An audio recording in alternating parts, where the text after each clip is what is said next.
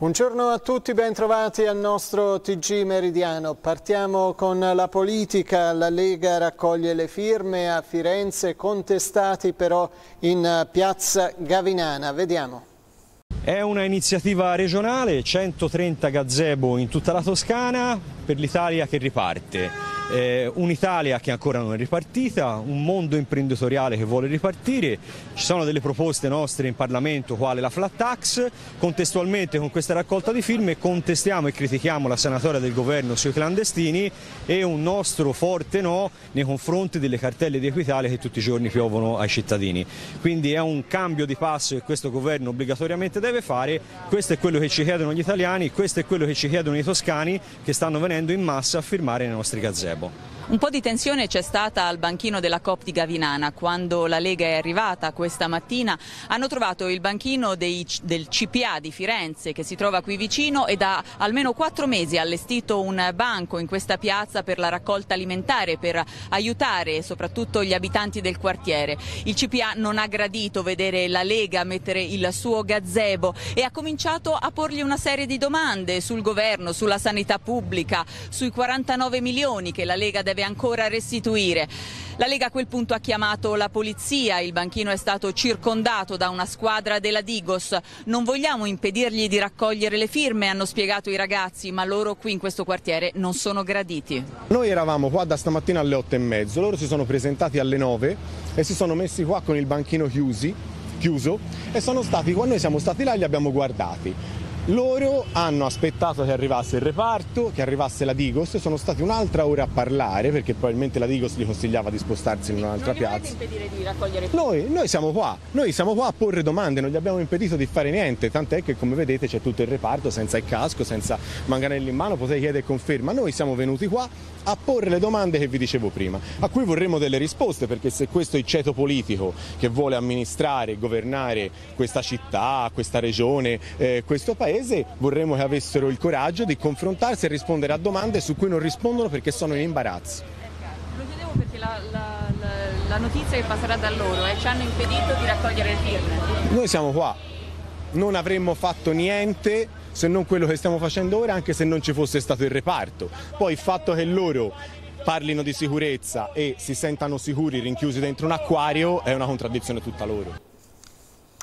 La cronaca spaccio di droga ad Arezzo, il parco del Pionta è sempre a rischio nonostante i blitz delle forze dell'ordine. Il servizio. È stata una settimana calda per quanto riguarda lo spaccio nella zona del Pionta. Martedì scorso le pene severe a 10 dei 14 arrestati nel Maxi Blitz proprio nella zona del Pionta. Condanne che sono andate dai tre anni e mezzo fino addirittura a quasi sette anni. Ci sono stati però anche in questi giorni episodi di violenza come un'aggressione ad una pattuglia della polizia da parte di un africano originario del Gambia e ancora controlli che hanno evidenziato come nella zona estesa anche all'area di Campomarte limitrofa alla stazione continui lo spaccio. La situazione non è facile, le pene dure hanno tenuto proprio perché ha tenuto il primo comma, ovvero lo spaccio reiterato, ma nella maggior parte dei casi le piccole quantità non consentono di trattenere gli arrestati dentro il carcere e addirittura spesso neppure di arrestarli. I controlli continuano continuano quotidianamente, ma è indubbio che la zona del Pionte di Campomarte resti ad altissima tensione. La sanità, la società della salute di Pistoia lavora per il potenziamento dell'ospedale di San Marcello che ha mostrato la sua eh, eh, modo di, di poter lavorare proprio durante il Covid. Vediamo. Si va verso il potenziamento dell'ospedale di San Marcello Pistoiese che diventerà un vero e proprio nosocomio al servizio della collettività non solo per la montagna ma per tutti gli utenti pistoiesi. È quanto prevede un documento della Società della Salute Pistoiese. Sindaco, si parla di potenziare l'ospedale di San Marcello, un po' tutta la sanità della montagna. Sì, si parla di, di, potenziare, se ne parla da tempo e devo dire che questo documento che abbiamo approvato in seno all'Assemblea della Società della Salute è un ulteriore spunto, un ulteriore stimolo a andare avanti in questa direzione. Devo dire che l'esperienza del Covid ci ha insegnato che l'ospedale di San Marcello è un presidio importante non soltanto per i cittadini della montagna ma anche in logica di sistema e questo è il grande valore aggiunto che l'Assemblea della SDS, mi sento di dire, ha colto pienamente.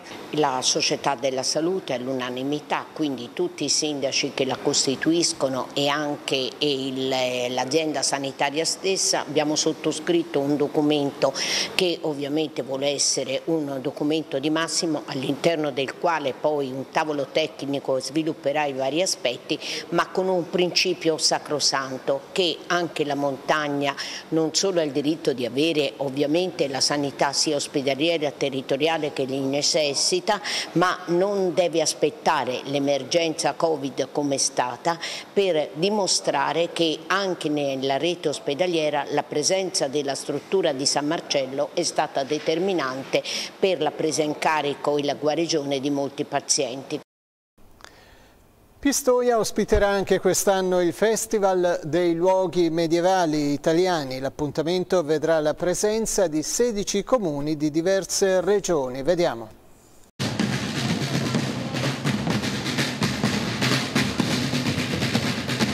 Le date sono già state stabilite il 26 e il 27 settembre, come già avvenne l'anno scorso, ma con alcune significative novità, anche quest'anno Pistoia ospiterà il Festival dei Luoghi Medievali. 16 comuni di varie regioni italiane si ritroveranno a Pistoia per una grande manifestazione nel centro storico, un vero e proprio tuffo nel Medioevo con tanto di squilli di chiarine rulli di tamburi. Le immagini che vediamo si riferiscono all'edizione edizione 2019 e, questa la novità del 2020, anche accampamenti militari allestiti in Piazza Duomo. In città si incontreranno sindaci e delegazioni di realtà storico-rievocative di varie regioni italiane. In programma incontri, workshop e corteggi storici. L'obiettivo è fare squadra per una promozione congiunta dei comuni italiani a forte identità medievale, quali destinazioni eccellenti di turismo storico-rievocativo.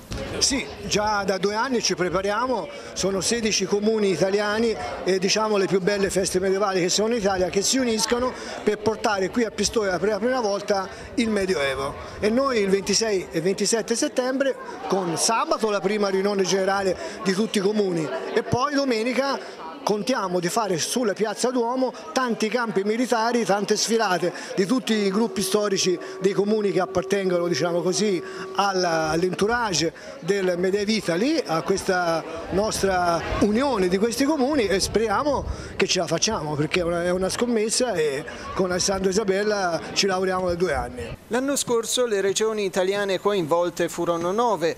Alla due giorni pistoiese parteciparono le amministrazioni di Trento, Incisa, Pisa, Scapaccino, Ariano Irpino, Gradara, Fermo, Monteriggioni, Pescia, Serravalle Pistoiese, Prato, San Gimignano, Viterbo, Montefiascone, Sutri, Civita di Bagnoregio, Ascoli Piceno, Gubbio, Cairo, Montenotte e Marsala.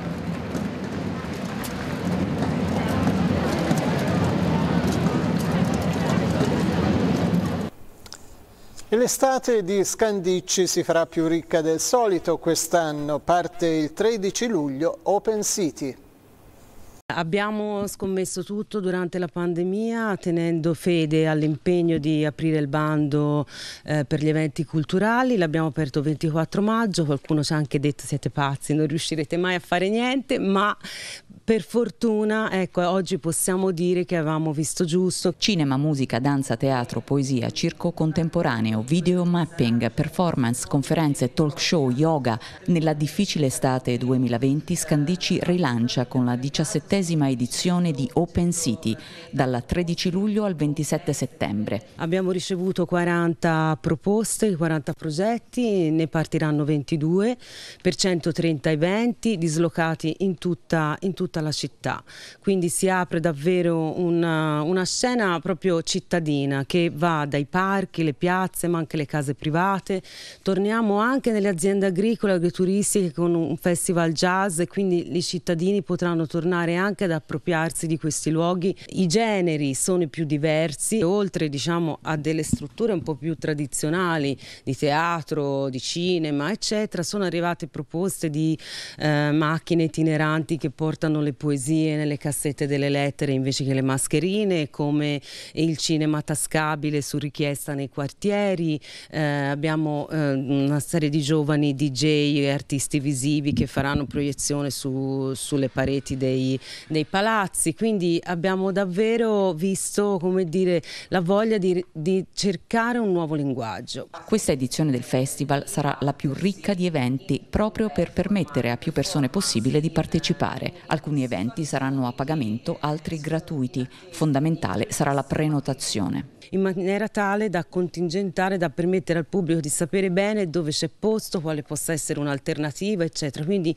immaginiamo che nelle 130 serate tutti avranno modo di, di partecipare di godere di questa uh, nuova socialità ritrovata in un contesto culturale e artistico. E la formula degli agriturismo potrebbe diventare vincente per il turismo della Versilia. Vediamo. Isolamento nella natura, profumi di fioriture, vita sana, ma a due passi dal mare. Se la formula agriturismo è sempre stata vincente in quest'estate post-emergenza, potrebbe diventare addirittura strategica per il turismo della nostra Versilia. Le strutture che uniscono produzione agricola e servizi turistici hanno due caratteristiche che sembrano ideali per la situazione che stiamo vivendo, spiega Massimo Gai, responsabile di CIA Versilia. È vero che abbiamo il mare, vero che abbiamo tante strutture ricettive, ma in queste strutture qui si può vivere l'isolamento, si può vivere la pace, si può vivere la tranquillità, sempre a due passi dal mare e sempre riuscendo a dare volano e motore a un'attività eh, che comunque fa presidio del territorio, fa conservazione de del paesaggio e dà comunque lustro a tutta quella che è la tradizione eh, sia agricola e sia turistica della Versilia. Inizio non facile nel post-isolamento anche per le strutture targate CIA, Confederazione Agricoltori Versilia, ma c'è ottimismo. Ripartire è stata dura, racconta Isabella Cavallini di un agriturismo a Camaiore. Quest'estate ovviamente come tutte le realtà nel mondo del turismo è stata abbastanza una bella batosta, quello sicuramente. Però ecco, dalla riapertura che ovviamente anche per noi è stato più difficile nel momento della riapertura quasi che il lockdown, perché lì ci, ci si è resi conto della situazione, abbiamo deciso di impostarla in questo modo, il cercare di eh, offrire alle persone ancora più serenità, ancora più tranquillità per venire qui da noi, quindi eh, eh, ambienti completamente separati, quasi impossibilità di stare contemporaneamente nella stessa stanza con persone che non si conoscono, per cui la ricerca di un posto appunto dove si evitano affollamenti eccetera, in questo caso viene assolutamente trovata. Era l'ultima notizia, grazie per essere stati con noi, l'informazione su Toscana TV torna stasera alle 19.